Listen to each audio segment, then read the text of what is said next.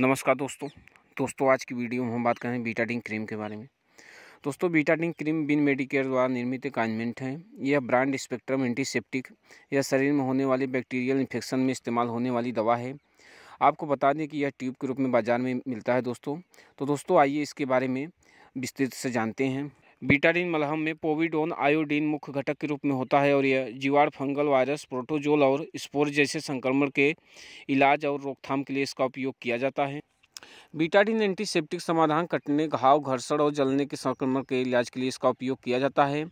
और Betadine skin cleanser यह हाथ धोने और कीटाणु शोधन करने सैन कक्ष में मरीज़ की त्वचा को देखभाल और त्वचा के गंध को हटाने के लिए एंटीसेप्टिक क्रीम जलने, फटने और संक्रमण को रोकथाम के लिए, सामान्यतः त्वचा संक्रमण के उपचार के लिए और पट्टी बदलने के दौरान संक्रमण के नियंत्रण रखने के लिए इसका उपयोग किया जाता है। एंटीसेप्टिक मलहम सामान्यतः त्वचा के संक्रमण का उपचार और मामूली जलन, कटने, फटने और खरोज के संक्रमण को रोकने के लिए इसका प्रयोग किया जाता है।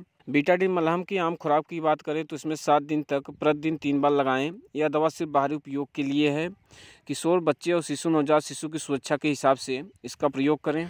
बीटाडिन मलहम के कुछ साइड इफ़ेक्ट भी होते हैं, जैसे त्वचा में जलन होना, त्वचा पर लालिमा, थायराइड का संतुलन, चेहरे, त्वचा होठ और गले की सूजन, त्वचा पर नीलापन, गुर्दे में विकार, थायराइड की समस्या, रक्तचाप में कम होना, आँख में जलन जी मिचलाना उल्टी दस्त, ये सब कुछ बीटाडिन मलहम के कुछ साइड इफ़ेक्ट हैं। दोस्तों, आपको बता दें गुर्दे और थायराइड के रोगियों को इस क्रीम का उपयोग करने से पहले अपने डॉक्टर से सलाह ज़रूर ले लें और सावधानी पूर्वक इसका इस्तेमाल करें।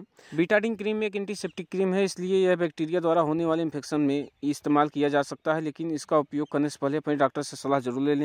बीटाडिन मलहम को लगाने से पहले कुछ सावधानियाँ आपको बरतनी चाहिए, जैसे उन मरीजों के लिए बीटाडिन का प्रयोग नहीं करना चाहिए, जिन्हें आयोडीन के प्रति असंवेदनशील एलर्जी हो। बीटाडिन मलहम में मौजूद आयोडीन कुछ लोगों के लिए असंवेदनशील होती है, उन्हें बीटाडिन मलहम का उपचार नहीं करना चाहिए।